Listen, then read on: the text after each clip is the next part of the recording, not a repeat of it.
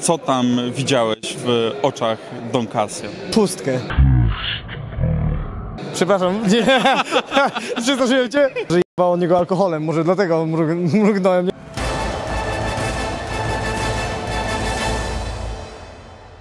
Jesteśmy na konferencji przed galą Fame MMA 11, 11, a jest z nami bohater walki wieczoru gali Fame 12, Marcin Polisz Zombie Wrzosek. Dobry wieczór.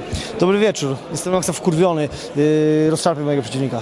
Dlaczego jesteś na maksa, jak to powiedziałeś, wkurzony? Po, po prostu e, wkurzył mnie, wyzwał mnie od kurew. Prawda? No nie wkurzyłoby cię to? No z pewnością, natomiast powiedz, co tam się wydarzyło wcześniej, bo tam był jakiś incydent podobno z podaniem ręki, Był czy nie podaniem... Nikola Milanowicz, mój dobry kolega z Łodzi. E, Przyszedłem się przywitać i obok stał e, e, Don Casio Knur. No i mówię, co, podasz mi rękę? A on powie, spierdalaj. Ja powiedziałem, wypierdalaj. I taka chyba nasza rozmowa. Panie? Nie była na najwyższym Nie, poziomie z no nie, pewnością. Nie, nie, nie, nie. Myślę, że to raczej dość niski poziom e, konwersacji, ale e, po nim raczej się dużo nie można spodziewać, a i po mnie nie za wiele, prawda?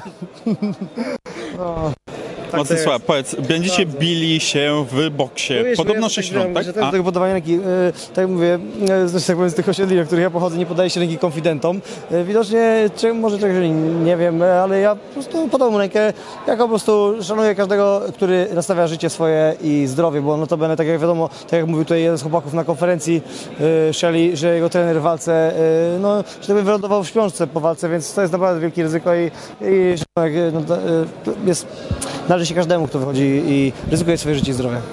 nie będzie tego wielkiego szacunku między wami na konferencję, skoro już tutaj było tak gorąco. Na pewno nie pluję na tego gno- gnoja.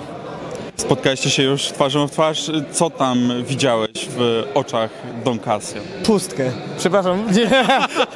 Przestraszyłem cię? Nie. Trochę. ale nie cię. Pustkę, pustkę, po prostu jakbym patrzył w próżnię. Nie ma zbyt dużo inteligencji w tym spojrzeniu. Nie będę cię oszukiwał. On powiedział, że mrugnąłem, ale nie mrugnąłem. Może po prostu przez to, że jebało od niego alkoholem. Może dlatego mrug- mrugnąłem, nie wiem. Musiał się najebać dla odwagi, nie wiem. Ale jak to żul spod żabki, jak to nazywał go jego przedni przeciwnik. A, taki żarcik. No właśnie, widziałeś ten poprzedni pojedynek z Normanem Widziałem, Parkiem? widziałem, widziałem, nie porwał mnie y, bardzo, że tak powiem, mierne widowisko.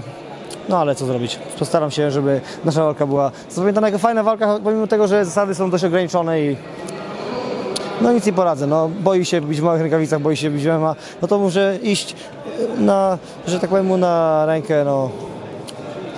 Że tak powiem, no, trzeba się y, czasami y, pochylić nad słabszym.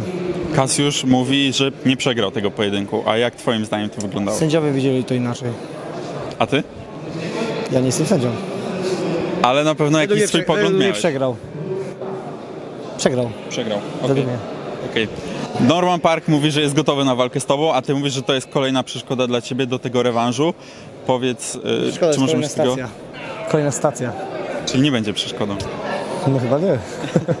Zależy, czy wyjdzie przygotowany, czy nie. No nie wiem, no sadzi wejść, no. Tak, ja chciałbym zawalczyć z nim lub z, z Borysem. Mówisz, Po, że... po tym żulu. Mówisz, że te zasady będą bardzo mocno ograniczone. Tak, Jak tak. one będą wyglądały, czego No, możemy w, ma- spodziewać? w dużych rękawicach. A ile rund? Sześć rund. Sześć rund, no. Sześć rund. Będę bardzo dobrze przygotowany kondycyjnie. Będę dalał tą przechlaną wątrobę, aż się posra. Mam nadzieję, że tu do czwartej rundy już nie wyjdzie. No właśnie, w walce wieczoru teraz gali Fame MMA 11 zobaczymy Borysa Mańkowskiego, zobaczymy Normana Parka. Powiedz, jak ty się zapatrujesz na ten pojedynek?